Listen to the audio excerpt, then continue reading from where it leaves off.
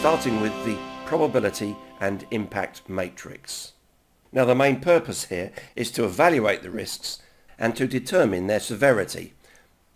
And what I mean by severity is that each risk will be prioritized within this matrix and the severity, if you will, is the result of multiplying the priority scale against the impact scale. So let me just draw you to these scales before we look at the data. Probability is here on a scale of 0.1 to 0.9. If you will, 10% to 90% probability. We don't show 100% because of course 100% isn't a risk. It means it actually will happen, so it's an issue. And these scales aren't arbitrary. Here you can see the ranking of the highest value here is from 71 to 90%. The previous one is 51 to 70% and so on.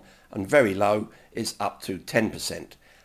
Having a brief description of each is helpful. Very low, low, medium, high and very high. But now let's look at impact. We seem to have some slightly different scales here. You'll find the descriptions are still the same from very low, low, medium, high and very high, but the scales are slightly different. This starts at 0.05. Now you may be asking yourself, why is this?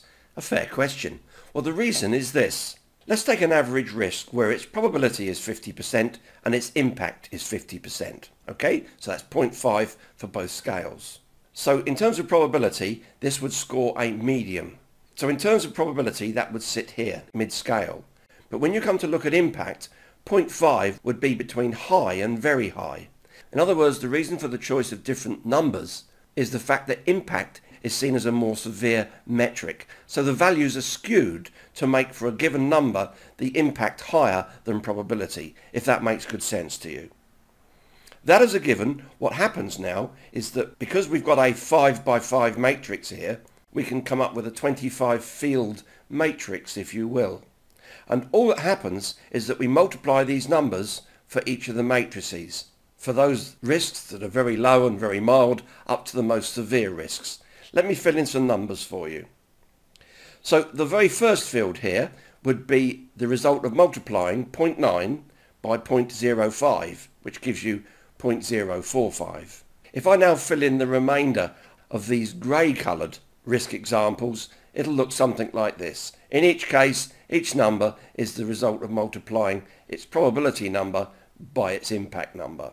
So let's perform the same multiplication with the next grouping, if you will. Don't worry about why I've chosen these particular cells, if you will. I'll explain that very, very shortly.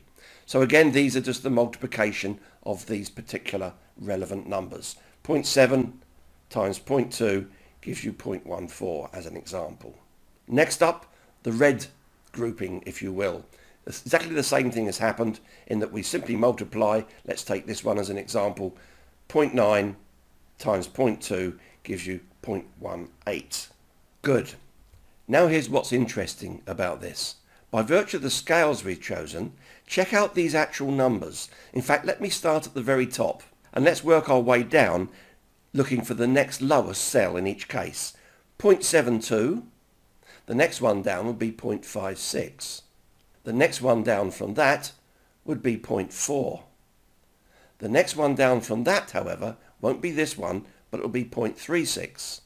Then again 0.28, and then 0.24, and then 0.2, and then 0.18, and then 0.14, and then 0.12 and you see the idea here. So what we've got here is a ranking system that we can use to prioritize the severity of each risk. And the severity, I'll say again, is the multiplication of probability by impact. Let's take an invented example of two particular risks to do with the weather.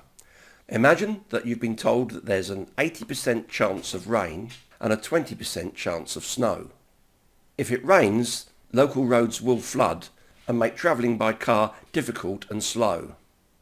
If it snows, and let's assume this is a country where if it does snow it's quite heavy, then roads will be blocked and people won't be able to do any travel. You can see that the snow one is more severe in terms of its impact. But to make a good risk judgment, we need to consider its probability, only 20%, versus rain, which is 80%. But the impact for rain is very much lower. So multiplying the two together, and I don't need to do that in that invented example, you can see at least we'll give you a common metric that you can use to rank and prioritise the two different risks themselves and put appropriate resources into both potential outcomes. Now we've got these numbers here, there's something else we can do, and it's the reason why I've coloured these particular cells differently. Starting with the grey ones, you could take the view that since these numbers are all pretty low, then for any risks within the risk register that scored these types of numbers that you'd accept the risk and do nothing about it. And we're coming to responses later in this particular module and you'll learn that accept and do nothing is a legitimate potential response to make if you feel it's appropriate. So what about the pink rated scores in the middle? Well, you could decide that those are the risks that you intend to take some other form of action on. I've nearly named it as proactive, meaning do something now. Whereas any risks in the red section, you might consider the scores are so severe that they need to be escalated and discussed with senior management as an example. But the colouring scheme I've used here was fairly arbitrary on, on my part. For example, the risk tolerance of your organisation might mean it's only the top three or four here that you'd want to escalate. But the principle is what I'm trying to put across in this particular slide. So this is the probability and impact matrix, very important tool, which you'll almost certainly come across. But there's a second tool which you might also see or hear about. And this, this second tool is particularly useful for when reporting risks. Let's have a look at it as it's very similar because it also uses probability and impact. One of the names for it is the summary risk profile. And notice again probability and impact here from very low to very high for both axes as the probability and impact matrix showed. But what we do here, we simply place a symbol, here shown as a red circle with a risk number in it, of each risk and where they appear on this continuum. So rather than concentrating on the values, we're looking at where they sit. For example, risk number 9 has a very high probability of happening and if it does happen it'll have a very high impact whereas risk number one although if it occurs it has a very high impact it's a very low probability perhaps similar to it snowing in my previous invented example. Whereas risk number six is very unlikely to happen and even if it happened it would have a very low impact. Probably a good candidate would you agree for choosing the action of accept and do nothing? And this particular simple diagram, perhaps taking the most important risks here, would be very useful to form part of the standard reports that a, that a project manager would give to management throughout a typical project. There's a couple of extra things you can do here, similar to the first, and that's that you could have an escalation line here where these risks were seen as intolerable. And the second thing is you can show trends. So if in month number one, risk number one was scored as a medium, but now in this latest report, it's moved to very high in terms of impact. You might be expected to include some information to management telling them why this has occurred and what you'll be doing about it. And it's an interesting point, isn't it? Since 6 it would be seen as a fairly harmless risk, while risk 9 would be potentially very dangerous.